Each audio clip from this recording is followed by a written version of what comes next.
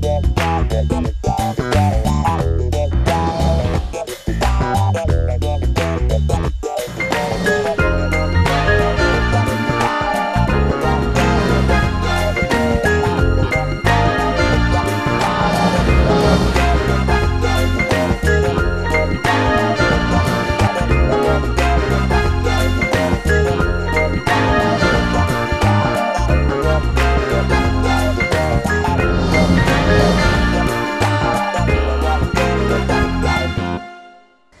și bine v-am regăsit la audiență regională. În această seară vorbim despre animale și asta pentru că nu putem uh, trăi fără ele. Ei bine, vom uh, începe discuția noastră uh, referitor la o normă legislativă care a creat o serie de controverse. Este vorba despre legea privind microciparea și înregistrarea câinilor de rasă. Ei bine, dacă sub incidența acestui act intră absolut toți câinii cu pedigree, vom afla în această seară de la invitatul pe care l-am alături de mine. Este vorba despre despre șeful Direcției Sanitar-Veterinare, Mihai Terecoasă. Bună seara, bine ați venit! Bună seara, bine v-am găsit!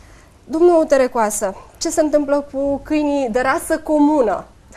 Intră și sub această incidență, intră și cei care au, știu, câini speciali sau așa cum îi consideră, îi consideră câini speciali și da, începând uh, cu anul 2014, odată cu apariția Ordinului 1 pe 2014 al Autorității Naționale Sanitare Veterinare, uh, este obligatorie și a avut ca termen 1 ianuarie 2015 uh, microchiparea tuturor câinilor din, din România, indiferent că sunt câini cu stăpân sau câini fără stăpân. Dar, începând cu această dată, a apărut ca și normele de aplicare obligativitatea ca tot uh, câinii care trebuie vaccinați antirabic trebuie să fie microchipați. Deci obligatoriu și câinii cu, uh, cu stăpâni și cei fără stăpâni și de rasă și cei de rasă comună trebuie să microchipați pentru a fi efectuată vaccinarea antirabică uh, care se efectuează obligatoriu o dată pe an la toți câinii și bineînțeles la cei noi fătați după vârsta de uh, 3 luni. Da, haideți să explicăm un pic pentru toți telespectatorii. Câini de rasă comună și metiși. Care este diferența care este diferența față de cei maidanezi? Știm cu toții, cei maidanezi n-au stăpân. Deci, de fapt, câinii de rasă comună și câinii uh, metiși sunt, rasă, sunt uh, câinii de care nu sunt de rasă, indiferent că sunt cu sau fără stăpân. Diferența este între câinile de rasă și câinile, uh, câinile uh, metiși sau rasă comună. Ei bine, legea asta precizează posesorii de câini de rasă comună și metiși, fără microchip, neregistrați în registru de evidență a câinilor cu stăpân și nesterilizați, riscă și amenzi dacă nu își uh, exact. îndeplinesc aceste îndatoriri. Și de aici au apărut, uh, mă uitam pe forumurile unde uh, se dezbate acest subiect, au apărut tot felul de discuții. Unii care spuneau, domnule, eu am lup, eu am rasă de ciobănesc nu știu de care, eu am un câine, particip cu el la concursuri de ani de zile. Nu mi se pare normal să fie microcipat. Nu mi se pare normal să merg la veterinar veterinar și să-i bage nu știu ce acolo. Uh, uh, mă rog, este, știm prea bine la ce folosește acel sistem, îl identifici mult, uh, exact. mult mai ușor. Ce să facă ace aceste persoane? Să meargă, să nu meargă? Riscă aceste amenzi, amenzi care pot urca până la 10.000 de lei. Da, este obligatoriu. Deci toți câinii în România cu stăpân trebuie microchipați. Obligatoriu a fost termenul 1 ianuarie 2015. S-a discutat la, s-a discutat la sediul Autorității Naționale Sanitare Veterinare împreună cu colegii medicilor veterinari din România să prelungească acest termen. Deocamdată nu, nu avem niciun document prin care să fie atestată această uh, prelungire. Dar, uh, începând cu 1 noiembrie 2014 până la 28 februarie 2015, a fost campania de vaccinare antirabică a câinilor și pisicilor din România. Tocmai pornind de la această situație, față de cei circa 140.000 de câini care avem noi în evidențele sanitare veterinare de, de la medicii veterinari de liberă practică împuterniciți și 38.000 de pisici, până la această dată nu au fost vaccinați decât 21.000 de câini și 739 de, de pisici. Deci foarte puțin față de uh, numărul uh, de câini cu stăpâni existenți și pisici existenți în uh, gospodările populației. Măcar 30%. Exact. Uh, față de anii anteriori, când nu era obligatorie eciparea și când vaccinam în jur de 130.000 de câini pe fiecare campanie de vaccinare antirabică, fiind o campanie de vaccinare obligatorie pe, uh, în cursul uh, în fiecărui an. Domnul Terecoasă, ce îi sperie pe deținătorii de astfel de câini? Nu îi sperie. Singurul lucru care a speriat a fost uh, că atât contravaloarea microchipului, a carnetului de sănătate și manopera de aplicare a acestui e, microchip este e, obligația proprietarului să le, să le... Deci nu au fost bani, ei nu au bani pentru efectuarea acestei acțiuni și nu uh, acțiunea ca atare i-a uh, speriat pe crescătorii de animale. Trebuie precizat faptul că ei beneficiază odată cu ciparea și de un nou carnet de sănătate. Uh, cei care, spre exemplu, eu am uh, un cățel, am uh, un Yorkshire și în momentul în care am mers și i-am făcut toate cele necesare, i-a fost schimbat și carnetul de sănătate. Înseamnă că ați avut un model de, de carnet de sănătate mai vechi și să înțeleg că nu se mai poate lucra după modelul da, respectiv? Da, deci a apărut, sau? cum, odată cu microchipul, a apărut și carnet de sănătate nou în care se trec toate acțiunile sanitare veterinare efectuate pe acel câine de la naștere până la, uh, până la moarte, ca să avem evidență foarte clară a tuturor acțiunilor care au fost efectuate pe, pe acest animal, pornind de la acțiuni imoprofilactice sau tratamente antiparazitare sau chiar intervenții chirurgicale. Vorbeați dumneavoastră de costurile pe care le presupune acest uh, proces. Știu că pleacă un undeva, în cazul meu, spre exemplu, a fost 80 uh, de lei și uh, vaccinarea și absolut tot. Uh, nu știu care este prețul minimum și care este maximum pentru... Difer valoarea, contra, valoarea microchipului este diferită în funcție de producător. Deci, în general, un microchip fără carne de sănătate costă de la 7,4, cel mai ieftin microchip, ajungând până la 20 de lei, am înțeles, cel mai scump, fără manopera de aplicare și, bineînțeles, în funcție de, de zonă, uh, tarifele sunt medii veterinare de liberă practică, au fost diferite. În județul Prahova, uh, pentru câinii din uh, deci câinii care nu sunt de rasă, care sunt în, în curțile oamenilor, tariful a fost între 15 și 25 de lei per câine. Spuneați dumneavoastră că termenul uh, de aplicare a fost undeva 1 ianuarie 2015. Există, în schimb, și posibilitatea de prelungire. Am văzut de altfel informații în acest sens. Nu am văzut niciun act, așa cum precizați și dumneavoastră că nu s-a dat. În această situație în care încă mai există uh, discuții, cei care sunt uh, depistați fără a avea acest nou carnet în care să fie precizată și ciparea animalelor, riscă amenzi? Spuneam că se ridică undeva până la 10.000 de lei. Da, Teoretic există posibilitatea să-i, să amendăm, dar atâta timp cât uh, crescătorul respectiv nu a avut 15 lei sau 25 de lei să plătească contravaloarea microchipului, mi se pare și inuman la ora asta să-i dai 10.000 de lei amendă pentru faptul că el n-a avut 15 lei să plătească uh, microchipul. Uh, noi am încercat, uh, la nivelul județului Prahova, am făcut toate demersurile ca să venim în sprijinul crescătorilor de animale și în acest sens vreau să vă spun că în luna decembrie am făcut un uh, raport către instituția prefectului și către Consiliul Județean Prahova, tocmai pornind de la faptul că primele două luni nu se vaccinase decât 2000 de câini în această campanie de vaccinare, exista pericolul ca, de fapt în ianuarie noi am avut și o misiune de la Comisia Europeană, tocmai pe rabie, iar faptul că noi, ca și stat, nu putem să efectuăm vaccinarea antirabică a câinilor și pisicilor din, uh, din curțile oamenilor, iar Comisia Europeană sprijină România pentru vaccinarea acel program uh, național de vaccinare uh, a vulpilor pe, pe perioadă de 4 ani și care costă foarte, foarte mult, de 75% din, din fonduri sunt alocate către Comisia Europeană. Tocmai în acest sens am făcut un material către instituția prefectului și am găsit toate deschiderea la nivelul prefecturii, motiv pentru care instituția prefectului a transmis către toate consiliile locale în situația în care aceștia au buget, au bani în buget, indiferent că sunt de la uh, Consiliul Județean sau din venituri, uh, bugetul, uh, venituri proprii, să asigure, să, de fapt să achite Consiliul Local primăria aceste valoare, contravaloarea microchipului și a carnetului de sănătate, urmând ca medicul veterinar să facă cu un tarif mult mai mic această manopere de vaccinare, ca să putem acoperi din punct de vedere imunologic tot efectivul de câini și pisici cu vaccin antirabic. Știm cum este că pe român îl miști mai greu atunci când trebuie să facă un lucru, dacă nu ies uh, bani și trebuie să dea, îl miști uh, mai greu. Um, există de asemenea în aceste campanii pe care dumneavoastră le desfășurați împreună cu autoritățile locale și intenția de a merge medicii veterinari în gospodăriile oamenilor să facă aceste vaccinuri? Da, deci și, ca și până acum sunt uh, localități sau circunscripții sanitare veterinare în care sunt două tipuri de, de, de, de se practicau două metode de vaccinare.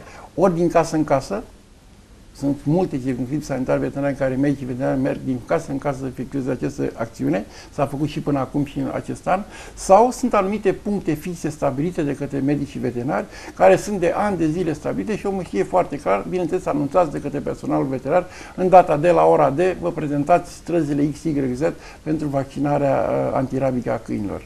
Bine, trebuie precizat că această măsură nu este luată la întâmplare sau doar pur și simplu pentru a scoate un ban din uh, buzunarele oamenilor, ci s-a luat tocmai pentru că uh, mulți dintre maidanezii pe care îi vedem uh, pe stradă provin din gospodăriile oamenilor care au câini.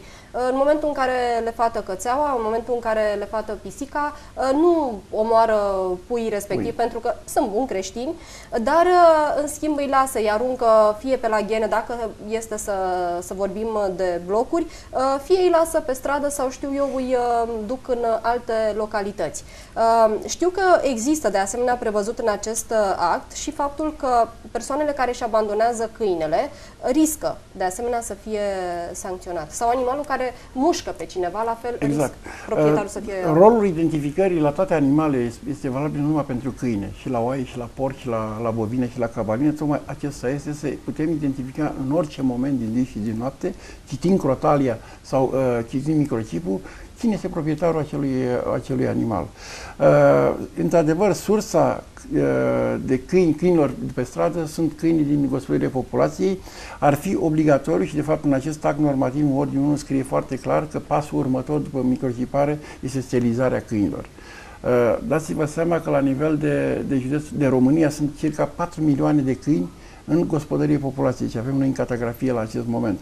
Uh, dacă mergem numai pe pe ideea că nu spunem jumătate, dar 30% sunt femele, 30% din femele, o femeie fată de cel puțin 3 ori în, în 2 ani de zile, ori 5 căței, dați-vă seama ce înseamnă ca și număr de câini care rezultă din uh, fătările controlate sau necontrolate acestor uh, femele din gospodării. Deci dacă nu facem și pasul următor să trecem la castrarea măcar a femelor, nu și a masculilor, uh, uh, acțiunea în sine nu are, fiindcă în momentul în care a fătat și găsesc cățelul de o lună, două pe stradă, necipat, nenimic, nu pot să spun de unde provine.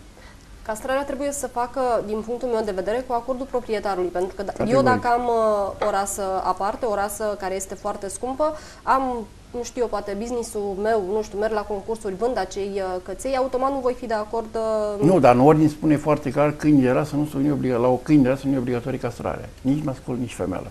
Deci e vorba numai de câini rasă comună, acei sau metiși care spuneți dumneavoastră. Da, pentru că așa scrie și de aici au apărut o serie exact. de, de dispute. Am văzut că dădeau uh, unii tot felul de explicații. Dexul deocamdată nu are explicații pentru rasa comună sau uh, metici am văzut că există. Bun. Um, spuneam uh, despre acești maidaneși și vreau să continui un pic discuția. Am avut și, și zilele trecute o discuție cu domnul Palaș, domnul consilier Palaș, despre câinii aceștia fără stăpân, care reprezintă în continuare o mare problemă pentru comunitatea românească și pentru noi prahoveni. Ori de câte ori discut și cu primarii sau cu um, alți reprezentanți ai autorităților locale, printre uh, problemele identificate sunt câinii fără stăpân. Și spun că ei au rezolvat în comunitatea lor uh, problema aceasta, în schimb câinii uh, fac transhumanță mai nou. Nu mai fac oile, fac câinii. Da, așa este. Uh, uh, legea, la ora asta, este foarte clară. Deci câinii de, de care sunt pe, pe stradă pot fi uh, capturați, de către servicii specializate în acest sens și dus în acele adăposturi care sunt organizate fie de, uh, de consilii locale, fie de firme private. Problema este că s-a blocat altă lege la acest moment de către cei iubitori de animale cu ghilimele de rigoare, așa în care în lege spune foarte clar că un câine care a fost capturat și în șapte zile nu a fost revendicat sau în 14 zile nu a fost adoptat, după 14 zile poate fi eutanasiat. Știți foarte bine discuțiile care au fost și în Parlament și toate demonstrațiile de stradă, că iubitorii de animale nu sunt de acord cu această eutanasiere. Uh, motiv pentru care la această oră, tot, de exemplu, în Prahova avem șase adăposturi de câini. Sunt toate blocate, majoritatea sunt blocate, tocmai de fiecare are o capacitate. Neputând eutanasia câinii, normal că nu putem uh, să, să aduc, luăm alți câini din stradă să-i uh, populăm aceste adăposturi. Uh, avem o situație destul de bună la nivelul municipiului Ploiești, în sensul că sunt câteva organizații, asociații de iubitori de animale, care efectiv se ocupă cu, de acești câini, deci la ora asta în adăpostul de la Bucov, uh, ele asigură atât hrana, cât și tratamentele pentru toți câinii care sunt adoptați, ocupându-se, bineînțeles, uh, postând pe site uh, tot, toți câinii cu probleme și sunt adoptați, nu mai știu exact cifra, dar cred că în anul 2014 circa 800 de câini au plecat din, numai din adăpostul Ploiești, legal, cu uh, certificat sanitar veterinar, uh, pe, în, uh, în Germania. Deci câini care au fost adoptați în Germania. Deci în acest sens ne ajută foarte mult aceste două asociații și ca uh, număr de câini existenți în adăpost și bineînțeles și costurile care nu sunt uh, puține, pornind de la uh, hrănire, îngrijire, uh, vaccin și așa mai departe. Da, uh, vorbeam despre uh, legi și, de asemenea, legea în această privință prevede faptul că persoanele care uh, au câini, atât în gospodărie, cât și cele care um, adoptă câini și le lasă pe stradă, riscă să fie amendate, riscă să fie amendate. Câte persoane au fost în practică amendate, pentru că vedem prea bine că așa se întâmplă. Dispar anumiți câini de la anumite blocuri, uh, după două zile sunt duși la adăpost, după două zile revin. Nu, aici sunt uh, tot niște asociații în județul Prahova, sunt vreo 3 sau 4, care iau câini de pe stradă. Probabil că ați văzut și în orașul uh, Ploiești, sunt foarte mulți cu niște crotalii mici, de diferite culori. Unele sunt galbene, unele sunt verzi, în funcție de uh, asociația care i-a, i-a preluat. Îi iau de pe stradă, îi crotaliază, în acea microcrotalie, îi, fac, îi vaccinează antirabic eventual și aduc din nou, o castrează, femela sau masculul și aduc în nou, din nou în locul de unde l-au, de unde l-au luat. Deci ceea ce, din punctul meu de vedere, nu este o manoperă care poate să ajute România la acest moment să scape de pe câini de pe stradă. Exact acest lucru vreau să spun. Un câine care este vaccinat, un câine, da, nu mai prezintă pericolul în cazul în care mă mușcă să mai să facă diverse complicații, dar pericolul de a fi mușcat, pericolul de a se întâmpla ceea ce s-a întâmplat în parcul Tei în urmă cu, exact. cu 2 ani, uh, există în continuare. Categoric. Sunt câini, indiferent, foarte mulți iubitori de animale spun că dacă sunt castrați nu mai sunt agresivi. Nu există. Ei sunt, uh, sunt în haită, uh, iar de la o anumită oră din seara în special devin agresivi și atacă în special copiii sau persoane în vârstă. Uh, este într-adevăr, atât timp cât până nu rezolvăm problema microchipării, să știm exact prin citirea acelui microchip cine este proprietarul ca să putem aplica acele sancțiuni, este foarte greu de uh, realizat această acțiune de uh, eliminare a câinilor de pe stradă. Domnul Terecoasă, avem uh, un sistem care să ne asigure această citire. În momentul de față avem o evidență? Da, pentru câinii microchipați există acest registru de exploatație câinilor cu stăpân în care sunt introduși toți câinii în termen de 5 zile, este obligația medicului veterinar să-l introducă în, în acest REX și, bineînțeles, apare la nivel național și eu pot să scot orice medic veterinar care este înscris pentru a opera în acest registru, poate să vadă în orice moment de zi și de noapte dacă câinele este microchipat, de unde provine cine e proprietarul. Bun. Și asta, ce acțiune a fost făcută asta, pe el, a fost vaccinat sau nu. Da, asta în cazul în care avem un uh, câine care este trecut de 90 de zile, adică este exact. mai mare de 3 luni, uh, prezintă acest uh, dispozitiv. Dar uh, pentru femelele pe care le avem în, în gospodării. Suntem obligați să declarăm în momentul în care sunt uh, gravide, în momentul în care știu eu au fătat, pentru că maidanezii provin de la aceste femele și proprietarii au cu totul alte uh, preocupări, mai puțin să declare și așa ne trezim. Da, există obligația ca proprietarul, ca la orice animal nou născut sau fătat în gospodărie, să anunțe medicul veterinar în termen de șapte zile la bovină, în termen de două luni la, la, la oaie și la, la capră, că acest animal a fost fătat, a fost obținut, tocmai pentru ca medicul veterinar să meargă să facă identificarea prin microchipare sau prin crotaliere la, de, în funcție de, de specie și, bineînțeles, să, să, să poți să, să poți să asiguri. Dar atât timp cât până la acest moment noi nu am reușit să realizăm microchiparea adulților este foarte greu, pasul următor, să venim să, să obligăm proprietarul să anunțe. Probabil că după microchipare, odată microchipată femela, sau vorbim de femele acum, este, poate că el o să vină să anunțe în continuare că acea femelă a fătat și eventual să uh, trecem și la microchiparea uh, câinilor, cățeilor, opțiune. Ca proprietar de câini, ca proprietar de femelă, am refuzat să o castrez, am uh, pui în gospodărie, nu vreau să-i dau nici pe stradă, dar nu aș vrea nici să-i păstrez. Care sunt soluțiile și pentru astfel de situații? Să apelăm la un adăpost de câini care poate să preia acești căței. Bun. Uh, vreau să vorbim mai departe despre colaborarea dumneavoastră cu autoritățile locale în privința acestor uh, câini fără stăpân, care, așa cum am uh, precizat, reprezintă în continuare o mare problemă pentru țara noastră și pentru pentru Prahova. Mă interesează dacă noi avem un recensământ făcut. Știu că exista unul când era domnul Dobre prefect, atunci a fost făcut un recensământ. Dumnealui spunea la vremea respectivă, vorbind de vreo 2 ani și ceva, 3 ani în urmă, spunea că sunt uh, identificați în județul Prahova undeva la 3 milioane de câini și cu stăpân și fără stăpân. Nu, nu. Cifra nu e reală. Nu este reală? Nu. Deci noi avem la ora asta în catagrafie și după vaccinările antirabice care s-au făcut anii anteriori, la nivelul județului ca 140 de mii, 141 și ceva de mii de, de câini în evidențe și v-am spus 38 sau 39 de mii de pisici. Uh, aici intră, intră în câinii fără câinii comun, rasă comună sau metici. Iar câini și de rasă... Și câini în, fără stăpân? În nu, cifra nu, aceasta? Câini, cifra uh, câinii cu fără stăpân nu, nu are nimeni, nu deține nimeni la ora Pentru că dumnealui uh, spunea această cifră pe care o preciza la momentul respectiv, nu știu acum de, de Nu, nu, avea. nu are nicio justificare. Cifra este enormă. Adică nu. 4 milioane de câini sunt în curți la ora asta în România. Da, este posibil să fi făcut referirea nu. la toți câinii Probabil, de... probabil.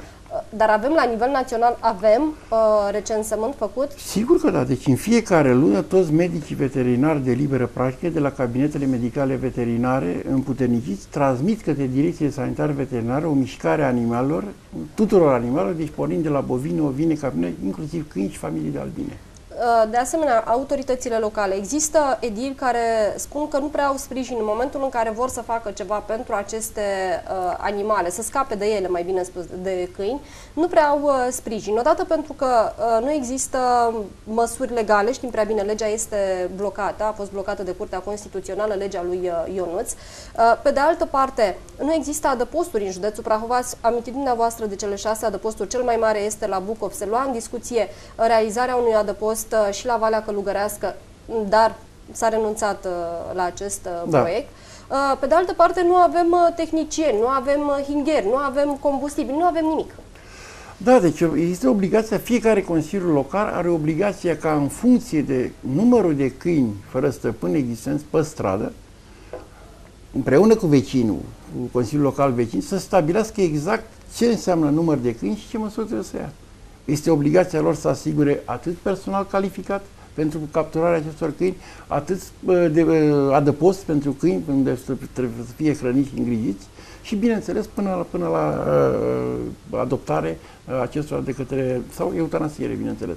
Dar în afară de ploiești, unde avem acest adăpost, avem Câmpina, un adăpost care funcționează destul de, destul de bine. Avem la Băicoi un adăpost, avem, mai avem două adăposturi private, unul la Boldesc Căieni și unul la... nu vine acum, uh, în care, dar avem capacitatea la toate aceste șase adăposturi din județul Prahova, este în jur de uh, 1850 de câini.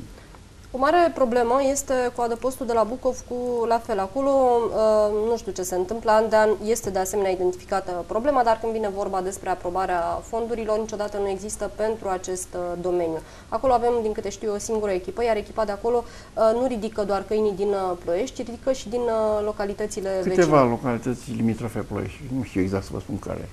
Da.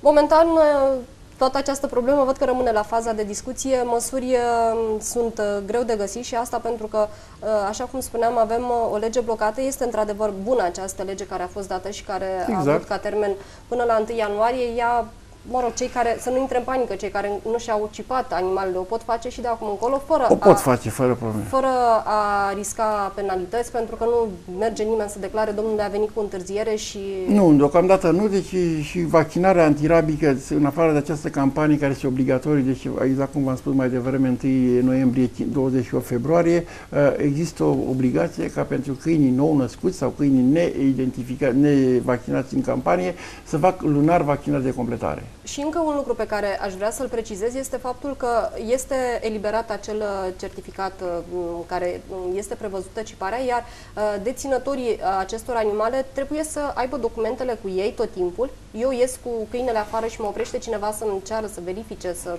Deci, de regulă, treaba asta este valabilă la câinile, câinii de rasă când ieși cu el pe stradă, în oraș, în parc și așa mai departe. Pentru câinii de rasă comună, care de regulă stau în curte și nu ies, nu este obligatoriu să am acest uh, pașaport la mine sau canetul de sănătate la mine. Deci, practic, dacă ies la plimbare cu cățelul, trebuie să am asupra mea. și cine, de... și cine mă verifică? Eu cum îl identific pe cel care îmi cere um, acest uh, carnet? Deci aici poate să o facă și poliția locală, în situația în care Consiliul Local respectiv are un loc amenajat pentru că acești câini, plimbarea acestor câini și uh, veți fi găsite cu câinile într-un parc în care nu aveți voie să... Deci poate să facă și poliția locală. Deci mai mult ei și mai departe uh, de la noi numai în situația în care există o sesizare uh, cei de la Poliția Sanitară Veterinară. Bun, luăm o scurtă pauză de publicitate și revenim în câteva minute, schimbăm registru, vorbim și despre celelalte animale, pentru că și în anul 2014 am avut, avem anul și problema. Anul 2014 a fost anul limbii albastre.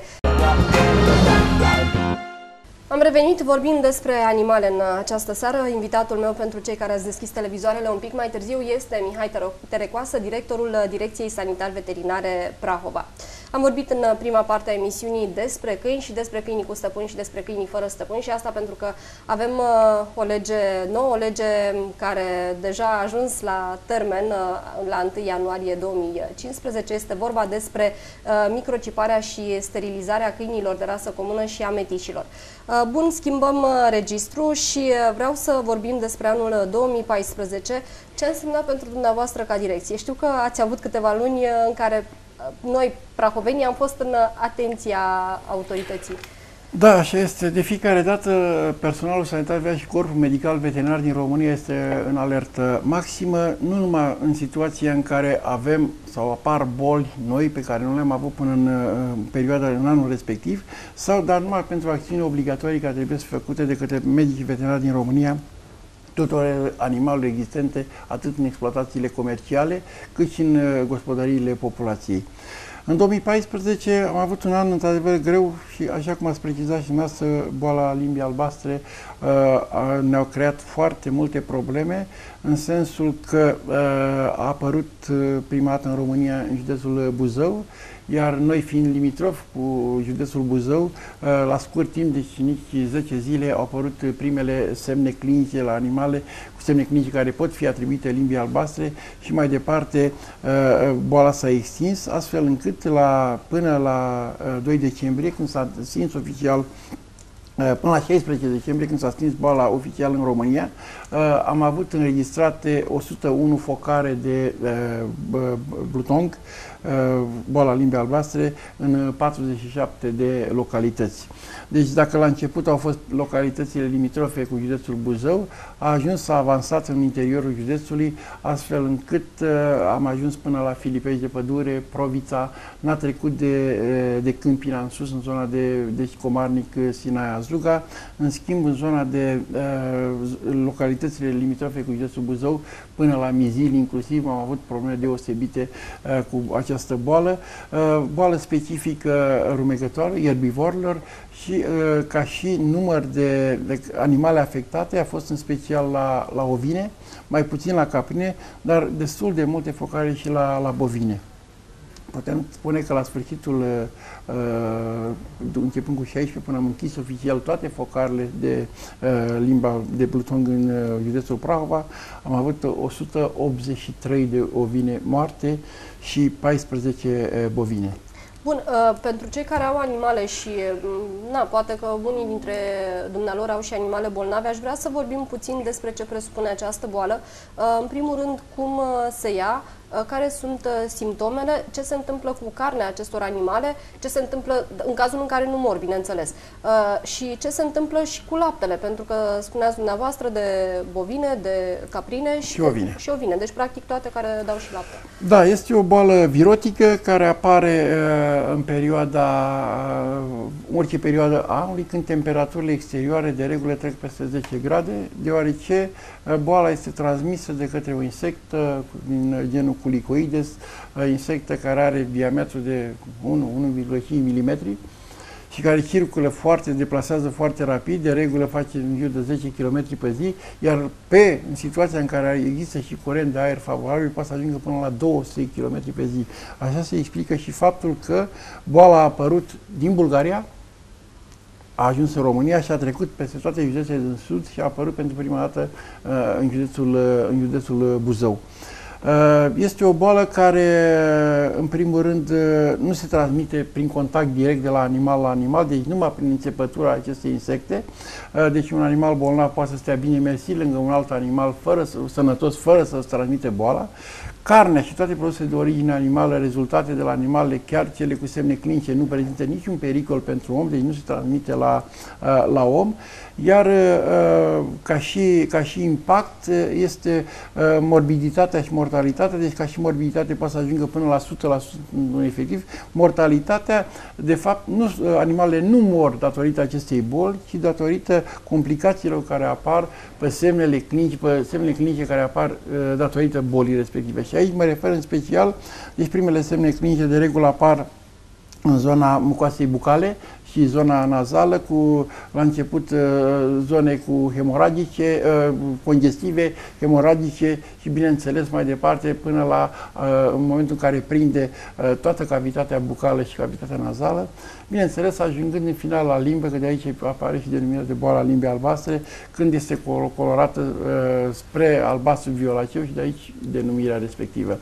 Uh, poate să apară și leziuni la nivelul uh, ugerului, poate să apară și leziuni la nivelul uh, copitelor, dar de regulă numai cele din zona, din zona cavității bucale sunt, sunt importante, întrucât toată apărute animalul nu mai poate consuma hrană, și, bineînțeles, dacă apar complicații, poate să apară și, și moartea. Laptele poate fi consumat în uh, momentul în care boala este deja instalată în organism? Da, laptele poate fi consumat fără probleme. Și carnea și laptele, deci animale pot fi sacrificate, uh, dar fără, iar carnea poate fi dată în consum fără nicio problemă. Poate fi prevenită această boală? Există vaccinuri speciale? Da, există vaccinuri speciale. S-a încercat și la nivelul uh, României să Autoritatea Națională Sanitar Veterinară să încerc, facem un, un, un, pentru anul 2015 un program de vaccinare. Uh, vă dați seama că sunt niște costuri deosebit de mari. Uh, vaccinul costă în jur de 6-7 lei o singură doză pe animal. Este obligatoriu și rapelul. Vă dați-vă seama că în România la ora aceasta sunt circa 18 milioane de bovine, ovine și caprine care ar trebui vaccinate uh, contra bolii limbii albastre. Asta ar fi o primă metodă din punct de vedere uh, sanitar și imunologic pentru a acoperi uh, boala respectivă. Mai există o altă problemă care, odată chiar și pe animale vaccinate, sunt 20 de serotipuri ale acestui virus. Deci eu pot să vaccinez, în România a fost serotipul 4. A evoluat în anul 2014, ca și în Bulgaria, ca și în Grecia. Uh, pot să vaccinez contra uh, bolii se, există vaccin numai pentru un singur serotip, se vaccinează serotipul 4 și poate să-mi apară din altă țară alt serotip și atunci și vaccinarea a fost făcută degeaba, pentru că nu am acoperire în, în vaccin pentru toate serotipurile de, de virus. Practic este foarte greu de prevenit. Exact, este groaznic, foarte, foarte, foarte greu de prevenit. Ar mai fi o măsură la fel cu costuri deosebite să facem așa dezinsecție, bineînțeles că nu poate fi făcută decât aerian, ca să poți să acoperi toată România rapid pentru a omorâ această, această insectă. A spus dumneavoastră că sunt uh, costuri mari pe partea aceasta de prevenție, dar faptul că am pierdut atâtea animale, uh, aici, bineînțeles, proprietarul a avut foarte mult de, de pierdut. Uh, mă gândesc că poate oamenii ar fi de acord, oamenii care dețin aceste animale, ar fi de acord să contribuie și ei într-o oarecare măsură, dar să-și uh, știe animalele, în, uh, să știe animalele sănătoase. Uh, la fel, eu întreb pe partea aceasta de măsuri. Mă gândesc că poate totuși există soluții pentru orice problemă. Deci la ora aceasta, exploatațiile comerciale, din, și aici mă refer la fermele mari de bovine, ovine și caprine, pot vaccina. Noi am luat legătura și avem întâlniri destul de dese cu toți crescătorii de animale din aceste exploatații ei pot să-și achiziționeze singur cu contracost, deci vaccinul, și bineînțeles au medici veterinari să efectueze această manoperă de, de vaccinare. Problema este că în situația în care uh, vaccinezi într-o fermă de bovine, să dau un exemplu, ferma de bovine, să o luăm ca exemplu, uh, de aici rezultă urma fătării masculi și femele. De regulă, toate fermele de, de vaci cu lapte din județul Prahova și din România, femelele le țin pentru prăsile proprie, deci le cresc mai departe pentru a obține lapte de la ele, iar masculii sunt livrați către uh, ferme, către uh, exploatații comerciale de creștere și îngrășare și mai departe centre de colectare, din care pot pleca animalele atât în schimburi intracomunitare sau la export în țări nemembre. Uh, în situația în care pleacă aceste animale din România, din tot, de fapt nu numai din România, într-o țară în care se vaccinează, eu sunt obligat ca și, ca și crescător și ca autoritate veterinară locală, să, înainte să plece animalele, trebuie să recoltez probe de sânge de la întreg tot efectivul de animale pentru a vedea dacă există, sunt anime, există sero, virusul, numai serotipul vaccinal. Deci aici, ce am avut în România, serotipul 4. Uh, costul acestui examen uh, este obligatoriu să iau pe sânge, pe EDTA, deci este acel examen uh, PCR. La ora asta, în România, este în jur de 1.280.000 pe animal. Dacă la bovină, la tăuraș, să zicem, care are de la 300-400 kg în sus acest preț, vânzând animalul, nu știu dacă este, atât de, este mare sau mic, pentru uh, berbecuți, dați-vă seama că este un preț enorm de, mare, de mare. Deci valoarea unui miel este la ora asta 2 milioane jumate, 3 milioane, iar ca să dau, ca să pot să-l duc la export uh, sau să, în schimbul intercomunitar, să dau eu ca operator încă 1.300.000 pentru a efectua acest test PCR. Ca să văd dacă animalul este vaccinat și are, are în, uh, numai agent, virusul pentru serotipul 4, nu și al virus. Da. Alt serotip. Costuri și costuri. Uh, ce, în ce măsură ne-a afectat uh, pe noi, pe prahoveni, uh, și în ceea ce privește uh, carnea, laptele, uh, produse pentru export? Noi exportăm din Prahova, uh, exportăm... Uh... Se exportă uh, anim, uh, carne, ne-a afectat foarte mult, deci avem în Prahova 4, uh, 2, 3 uh, cent, uh, exploatații comerciale uh, mari în care pentru creștere și îngrășare, tineret, taurin și mai departe, fiecare cu centru de colectare.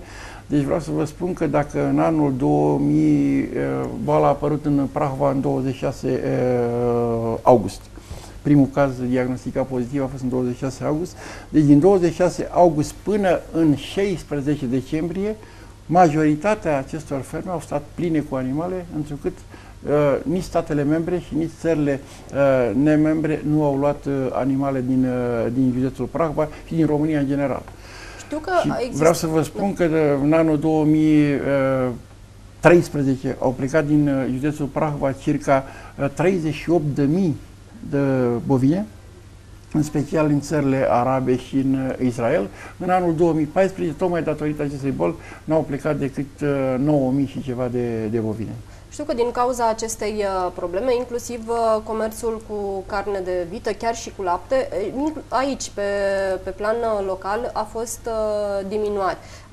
Știu că făceam tot felul de știri la momentul respectiv și se plângeau comercianții, producătorii comercianții de faptul că, da, le-au scăzut vânzările drastic la carnea de vită, la lapte, la Da, brânză. noi în perioada respectivă am încercat prin toate mass media locale și naționale și autorități să spunem că produsele nu au niciun impact, pentru produs nu există niciun pericol atâta timp cât boala nu se transmite la om.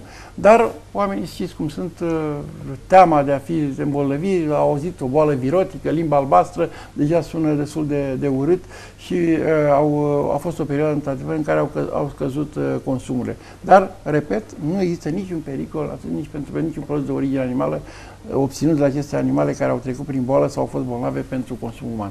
Domnul Terecoasă, la fel există tendința că atunci când avem un animal uh, bolnav în gospodărie să-l uh, sacrificăm uh, cât mai repede. Este o măsură bună, este o măsură sănătoasă pentru noi, cei care vom consuma din carnea respectivă? Și aici aș vrea să vorbim chiar și despre cazurile cu animalelor cu limba albastră. Deci, în general, este obligatoriu orice sacrificare din România, este obligatoriu să fie ca atât carnea, atât înainte de moarte, cât și după sacrificare, examenul antemorte și post-morte să fie efectuat de către un medic veterinar. Deci numai medicul veterinar este cel care spune, da, animalul este ok, poate fi sacrificat după examenul antemortem, iar după examenul post-mortem, da, carnea și organele rezultate sunt uh, bune pentru, pentru consum uman. Uh, mai departe, Este adevărat că încă în România, deci dacă în alte țări există numai exploatații mari de animale, la noi știți că există foarte multe, uh, în fiecare curte, în fiecare gospodărie din, uh, din mediul rural în special există un porc, o vacă, o oaie și așa mai departe. Propriu, da. e, și sunt oameni care sacrifică aceste animale pentru consum propriu. Pericolul, uh, uh, obligativitatea, deci din punct de vedere uman, orice om care sacrifică, indiferent dacă e pentru consum propriu sau nu, ar trebui să vadă atât carnea, măcar carnea la port, obligatoriu examenul chinoloscopic, organele de către un medic veterinar. Uh, pentru consum colectiv, deci în situația în care vreau să și vând un produs obținut în gospodărie, este obligatoriu atunci să fie examinat sanitar veterinar de către un medic care să uh, îmi spune da, este ok și poate fi uh, vândută mai departe. De regulă, toate animalele, atât care sunt puse și carnea care există la ora asta în magazinele care sunt registrate sanitar veterinar și unități de procesare este carne obținută de la animale sacrificate în unități de abatorizare, unde noi avem medii veterinari asigurată permanența și unde se fac aceste examene obligatorii, atât cel antemortem cât și postmortem și bineînțeles vedem carnea care este, o găsim în magazine cu acea marcă de sănătate, acea ștampilă ovală în care spune da, este bună, a fost văzută de către un medic veterinar și poate fi consumată de către om. A spus dumneavoastră de acele uh, controle ante și post-mortem. Unde uh, le pot face oamenii care vor să le facă?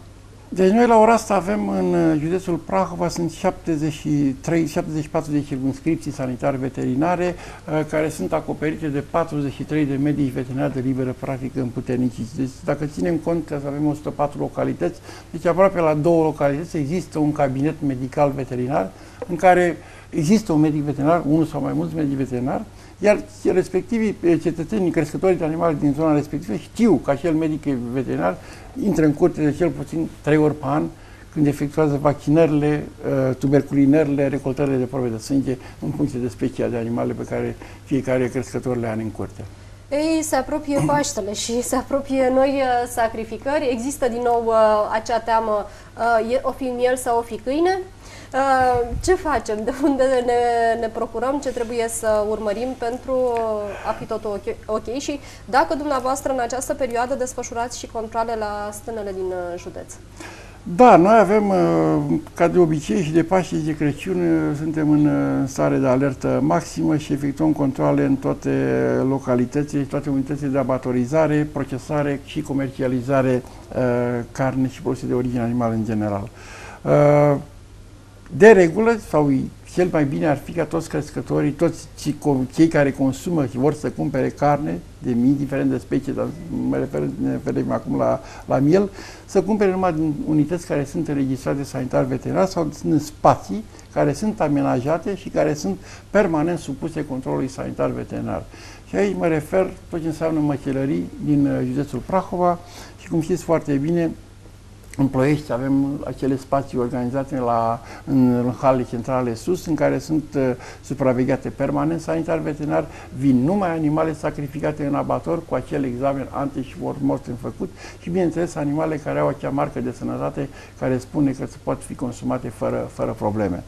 La stână uh, sunt niște obiceiuri care le avem în România de, și de Crăciun. Și nu, și vor, de... nu vom scăpa de ele foarte da. ușor, că noi suntem tradiționaliști, ținem exact. la tradițiile uh, noastre. Acum, adevărul care este? Pentru uh, mielul față de porc, ca și risc de îmbolnăvire, este mult mai mic.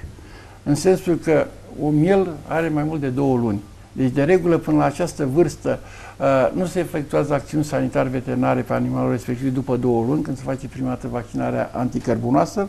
Uh, fiind un animal tânăr, nu are timp să instaleze boli grave care pot să afecteze uh, sănătatea celui care consumă. Deci riscul foarte mare la, la miel nu există. Singura problemă este condițiile de igienă în care acest miel este sacrificat și mai departe și nu de neglijat uh, starea de sănătate a celui care sacrifică. Am avut foarte multe și îmbolnăviri și mă refer nu numai la carne, ați văzut foarte multe toxinfecții alimentare care au apărut și de la o parastat când au mâncat colivă. Deci cea care a, a frământat acea colivă și a, pentru a fi aranjată a fost purtătoare de salmonelă și bineînțeles că salmonela produce niște uh, afecțiuni destul de grave la om în funcție de, de stereotipul la fel de salmonelă. Deci, uh, spre deosebire de porc, unde există riscul foarte mare acel efectuarea acestui examen uh, tichinoscopic în special, uh, în care sunt, uh, am avut destul de multe cazuri, în 2014, nu că la fel ca în 2013, am avut 29 de cazuri uh, pozitive, numai în luna decembrie am avut 17 cazuri depistate la porții sacrificați în gospodărie, dar ce vreau să vă spun că din în luna decembrie s-au prezentat pentru efectuarea examenului tichinoscopic circa 6800 de, de, de, de porți sacrificați în situația în care, de regulă, în județul Prahova, în luna decembrie, se sacrifică circa 35-40 de mii de porci. Bun, a spus dumneavoastră de condițiile uh, care ar trebui să fie comercializați miei. Uh, știm prea bine că românul la fel va merge la stână sau va lua de la cunoștințe, de la va lua de la cine îi recomandă, cum îi recomandă sau dacă este în criză de timp și probabil că va fi tentat și de un preț mai mic, va lua și de pe marginea drumului. Uh, revin la problema. Cum uh, identificăm dacă este miel și cum ne dăm seama dacă este altă, altă nație? Da, sunt uh, uh, niște diferențe destul de mari, dar bineînțeles ca să poți să, le, poți, exact, să le sesizezi, trebuie să ai uh, cunoștințe minime de atât de anatomie cât și de pentru efectuarea unui examen organoleptic a unei cărni. Deci, în primul rând, uh, ar fi bine ca uh, să nu cumperi miel sau, de fapt, carcasă de animal dacă nu are capul. Deci capul respectiv, după exact cap îți dai seama noi, exact să dăm bani pe, pe cap. cap. Dar este, poți să nu-l cumperi, dar măcar în momentul în care ai luat convinci. un sfert sau o jumătate, dă-mi dai din ăsta că i-am văzut că este uh, capul de... Mai, mai, există, departe, mai există, să știți, o problemă, mai există și carcase, mai există pachete din acestea făcute cu două capete. S-a întâmplat, vă spun din experiență proprie. Da. Erau, erau acoperite foarte bine, erau mascate foarte bine. Când Sub la... carne, probabil. Da, da. Da, asta e treaba de comercial.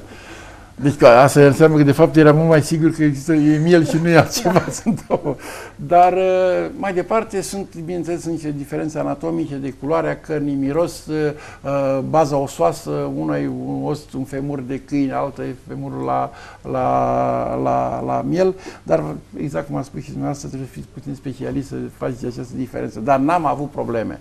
Deci sunt în județul Prahova și lucrez de 30 de ani N-am avut probleme, iar discuțiile care au apărut că s-au vândut câine în Prahova n-au fost și nu cred că au fost și nici undeva în țară.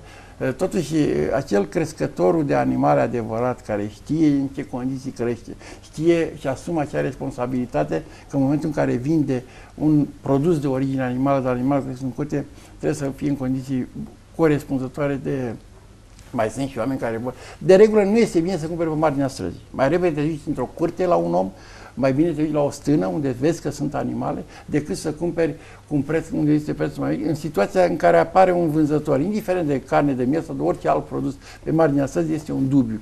Bun. Ehm, în ceea ce privește sacrificarea mielului, ehm, mai avem uh, anumite restricții? Avem ca la porc, uh, cu asomare, cu nu, de deci, respectat? Nu, pe, la abator se face asomare. Deci noi avem la ora asta șapte abatoare în județul uh, Prahova, unde și de toți miei care sunt inclusiv ce ați văzut, vedeți dumneavoastră în uh, acele puncte amenajate la hale, sunt miei sacrificați în abatori și în orice toate abatoare se face asomare înainte de sacrificare. Dar la stână nu există La stână nu. Um, este perioada premergătoare Paștelui, știu că desfășurați acțiuni uh, comune pe operațiunea MOV. Miel, ouă și vin. Cu vinul mai puțin probabil dumneavoastră, dar cu mielul ba, și cu ouăle... Deci vinul este total la noi acum. Total la deci dumneavoastră. răspundem de tot ce înseamnă produs de origine animală și non-animală. Deci așa. inclusiv vin, bere, sucuri și așa mai departe, tot intră sub uh, jurisdicția personalului sanitar Bun, deci veterinar. Deci strugurii uh, sunt de origine animală mai, și mai nou. ok.